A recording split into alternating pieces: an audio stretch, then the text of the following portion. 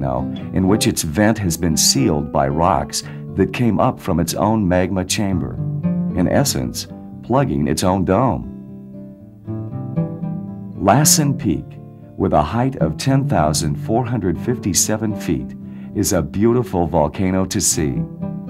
First beginning its activity about 20 to 30,000 years ago, Lassen Peak has a history of eruptions that excited the people of the United States back in the early 1900s.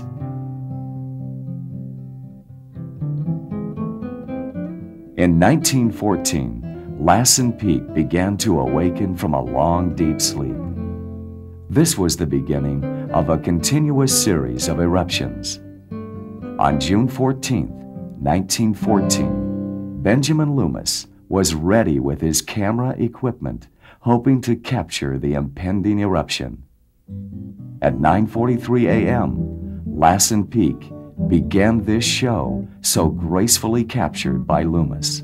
The volcano spewed steam, ash, and rocks all around the surrounding area.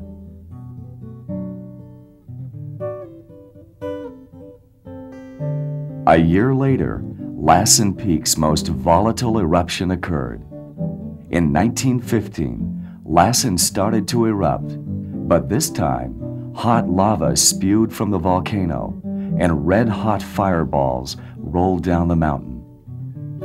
A few days later, a massive mud flow devastated the north side. A wall up to 20 feet high rushed down, carrying water, lava, mud, and ash. The force was so great, it brought 20 ton boulders down from the peak.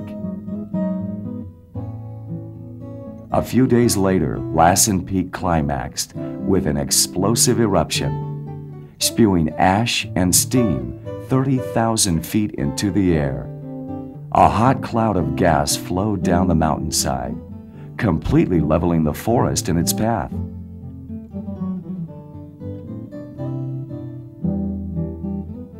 In the end, 298 eruptions were recorded until Lassen Peak finally went to sleep again until another day.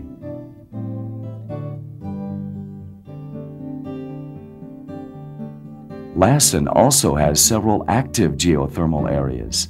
The rising steam, boiling waters, and bubbling mud pots is a visible indication that the Lassen area is presently active with volcanism.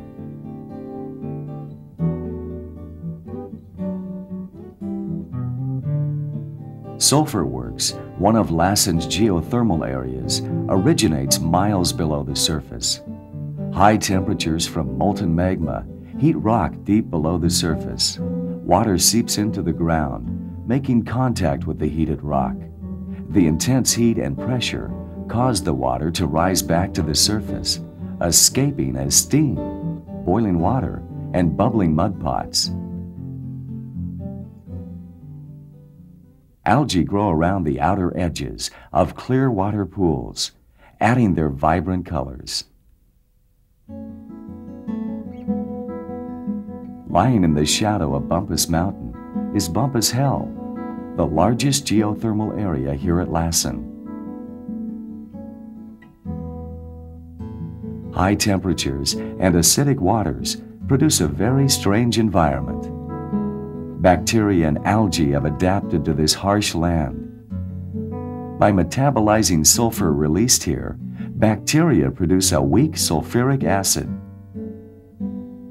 The intense heat below the surface keeps this area hot and alive, even when snow covers the surrounding area.